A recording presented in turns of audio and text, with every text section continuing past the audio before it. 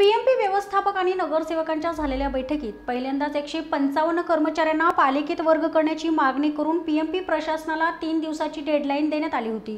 त्यानंतर पीएमपी प्रशासनानं नमतं घेत पिंपरी चिंचवडमधील एकशे पंचावन्न पीएमपी कर्मचाऱ्यांना पूर्वीच्या अटी वगळून महापालिकेत वर्ग करण्याचा आदेश दिल्याची माहिती विरोधी पक्षनेते दत्ता साने यांनी दिली आहे. घडलेल्या प्रकाराबाबत सत्तारूढ पक्षनेते एकनाथ पवार विरोधी पक्षनेते दत्ता साने यांनीही प्रयत्न केले. पिंपरी चिंचवड महापालिकेत पुणे महानगर परिवहन महामंडळाचे सुमारे दोनशे पस्तीस कर्मचारी दोन हजार एकपासून कामकाज करीत होते. त्यातील ऐंशी कर्मचारी सेवानिवृत्त झाले असून एकशे पंचावन्न कर्मचारी अद्यापही सेवेत कार्यरत आहे.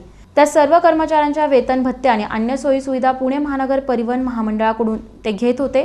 त्यांच्या हजेरीची प्रतिपूर्ती दर महिन्याला महापालिका पीएमपीएलकडे पाठवून देत होती. याबाबत तत्कालीन आयुक्त श्रीकर परदेशी यांनी देखील आदेश काढून महापालिकेतील कर्मचारी पीएमपीएलकडे वर्ग करण्याचे आदेश दिले होते. परंतु कर्मचाऱ्यांच्या दबावामुळे त्यांच्या या आदेशास स्थगिती द्यावी लागली होती. खरं तर जे पीएमपीएलचे कर्मचारी गेल्या अनेक दिवसापासून पिंपरी चिंचवड महापालिकेमध्ये काम करत होते.